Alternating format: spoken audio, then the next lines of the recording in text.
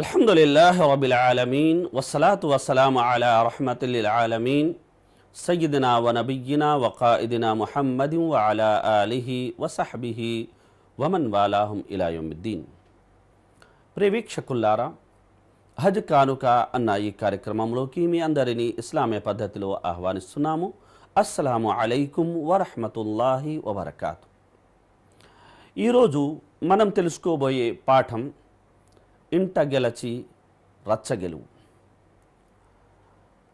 అల్లాహ్ సుబానహతాల ఖురాన్లో సెలవిస్తున్న మాట అఊదు బిల్లాహి మినష్ షైతాను రజీం బిస్మిల్లాహి రహమాన్ రహీం వ అందిర్ అషీరతకల్ అక్రబీన్. నీ దగ్గర బంధువుల్ని భయపెట్టు. అభిమాన సోదరులారా మార్పు తొలుత మన నుండి మొదలవ్వాలి. మనం ప్రజల్ని గెలవక ముందు మనల్ని మనం గెలవగలగాలి. కనుక అల్లాహ్ సుబానతల ఖురాన్లో సెలవిచ్చిన మాట కద్ అఫ్లహ మన్ జక్కాహ వకద్ ఖాబ మన్ దస్సాహ. ఎవరైతే తన ఆత్మను పవిత్రం గావించుకున్నాడో అతను సఫలీకృతుడయ్యాడు. మరెవరైతే తన ఆత్మ అంతరాత్మ ఘోషను అణచివేశాడు. అతను విఫలుడయ్యాడు అని అల్లాహ్ సుబానహతలా సెలవిచ్చాడు. కనుక నన్ను నేను గెలవాలి నాలో మార్పు వచ్చిన తర్వాత నా వారిలో మార్పు తీసుకువచ్చేందుకు నేను ప్రయత్నించాలి.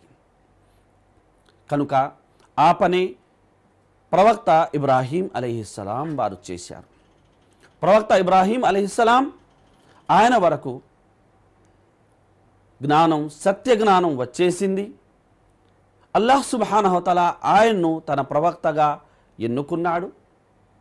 ఆయనలో వచ్చిన ఈ మార్పుని తన తండ్రిలోనూ తన పరివారంలోనూ తన సమాజంలోనూ తన ప్రాంతంలోనూ ఆయన చూరగొన్నారు.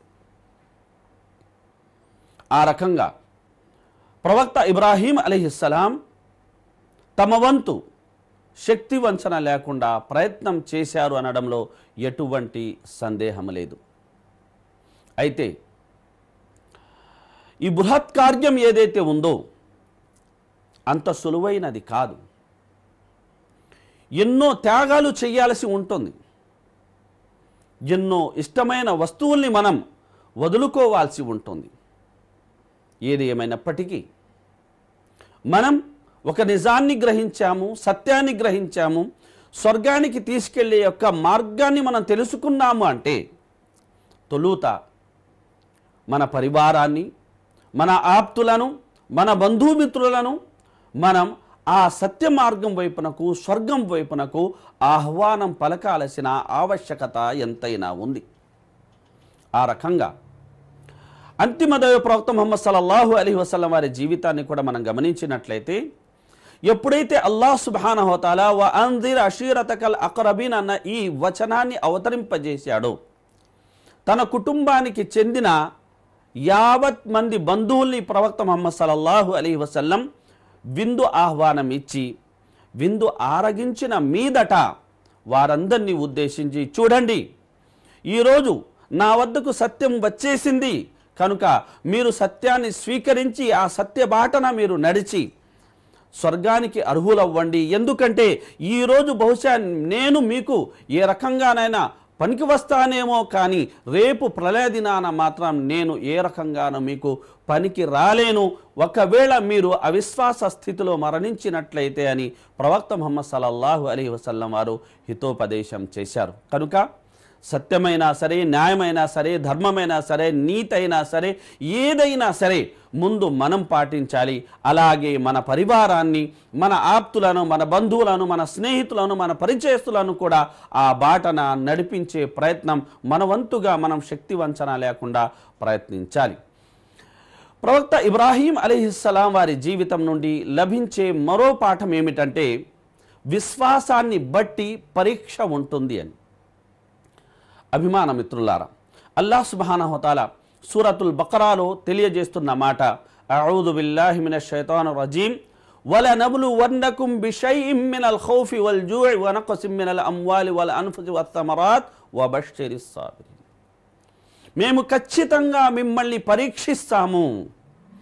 ఆ పరీక్ష అనేది భయంతో కూడినది కావచ్చు ఆ పరీక్ష అనేది ఆకలితో కూడిన కూడినది కావచ్చు ఆ పరీక్ష అనేది మీ ఆప్తులను మీ నుండి దూరం చేసేనా కావచ్చు లేదంటే మీ పంటలను వినాశనం చేసేనా కావచ్చు ఏ రకంగానైనా సరే అల్లాహ్ సుబానహోతాల మనల్ని పరీక్షిస్తాడు. ఎందుకంటే ప్రపంచం అనేది పరీక్షా స్థలం.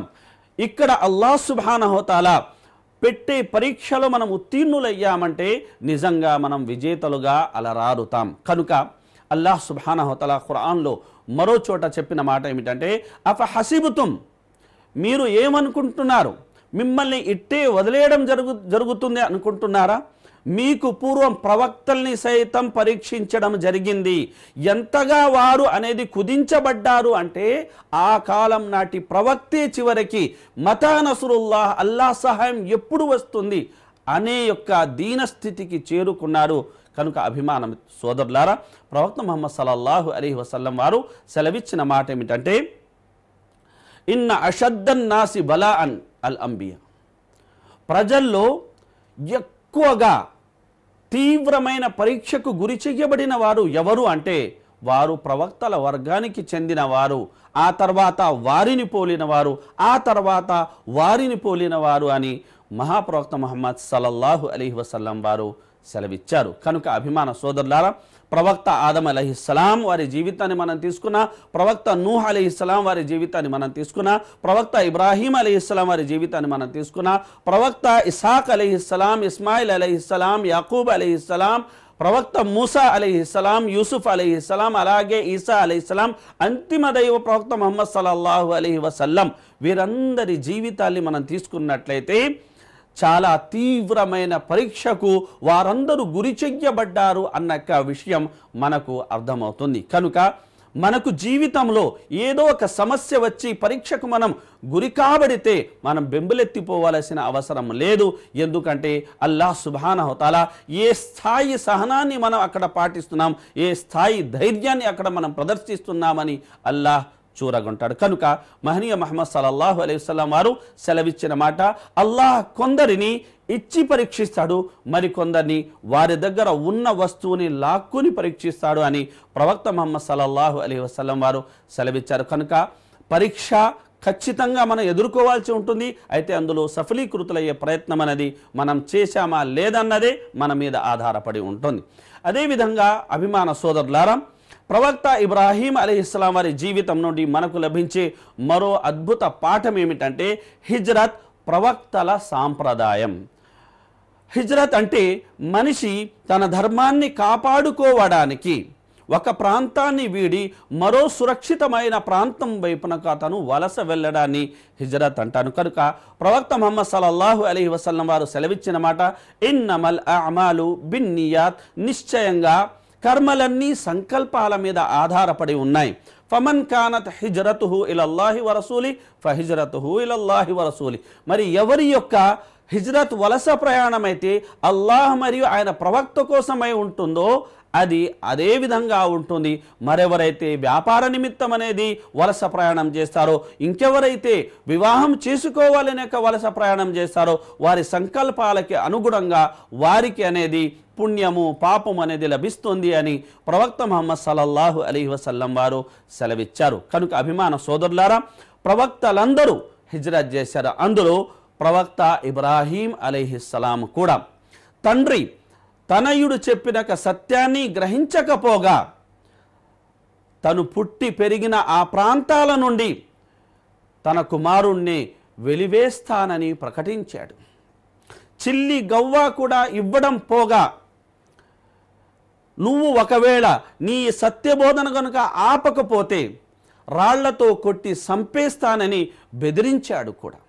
అయినప్పటికీ ప్రవక్త ఇబ్రాహీం అలీస్లాం ఓర్పు సహనాలతో తండ్రితో మర్యాదపూర్వకంగానే ప్రేమపూర్వకంగానే ఆయన మసులుకున్నారు. ఎలాంటి యొక్క షరతు లేకుండా బేషరతుగా ఆ ప్రాంతాన్ని వీడి మరో ప్రాంతం వైపునకు ఆయన వలస ప్రయాణం చేశారు. అలా వలస ప్రయాణం చేసి ఆయన ఈజిప్ట్ దేశానికి వెళ్ళారు. ఆ తర్వాత ఆయన షామ్ దేశానికి కూడా ఆయన వెళ్ళడం అనేది జరిగింది. కనుక ఫలస్తీనా ప్రాంతం ఏదైతే ఉందో ఆ ప్రాంతానికి కూడా ఆయన వెళ్ళడం జరిగింది. అలాగే మక్కాకి కూడా ఆయన వస్తూ వెళ్ళడం అనేది చేస్తూ ఉండే ఉండేవారు. కనుక ప్రవక్త ఇబ్రాహీం అలీహిస్సలాం హిజ్రత్ చేశారు. అలాగే అంతిమ దైవ ప్రవక్త మహమ్మద్ సల్లల్లాహు అలీ వసల్లం వారు సైతం మక్కాలో పదమూడు సంవత్సరాలు సత్యబోధన చేసిన మీదట ఆ జనమే ప్రవక్త ముహమ్మద్ సల్లల్లాహు అలీ వసల్లం వారిని ఆయన జన్మస్థలం నుండి వెలివేసింది. ప్రవక్త ముహమ్మద్ సల్లల్లాహు అలైస్లం అల్లాహ్ ఆదేశం మేరకు ఆయన మదీనా వైపునకు హిజ్రత్ చేశారు. కనుక హిజ్రత్ అనేది ఆనాడే కాదు ప్రళయం వరకు కూడా ఉంటుంది. ఒకవేళ మన ధర్మానికి నష్టం అనేది చేకూరుతుంది మన ధర్మాన్ని మనం కాపాడుకోలేము అన్నక దుస్థితే గనక ఏర్పడినట్లయితే ఆ పరిసరాల్ని ఆ ప్రాంతాన్ని వీడి సురక్షితమైన ప్రాంతం వైపునకు మనం పయనించాల్సి ఉంటుంది. అభిమాన సోదరులారా అలా మనం వెళితే అల్లాహ్ సుబానహుతాల అన్ని విధాలా ఆదుకుంటాడనక వాగ్దానం ఖురాన్లో అల్లాహ్ సుబానతల స్వతహాగా చేసి ఉన్నాడు. కనుక అభిమాన సోదరులారా ప్రవక్త ఇబ్రాహీం అలీహిస్సలాం వారి జీవితం నుండి ఈరోజు తెలుసుకున్న ఈ పాఠాల్ని గ్రహించి వాటికి అనుగుణంగా మన జీవితాల్ని మనం మలుచుకోవాల్సి ఉంది. మలుచుకుంటారని ఆశిస్తూ సెలవు తీసుకుంటాము. వస్సలాము అలైకుం వరహమతుల్లాహి వబర్కాతు.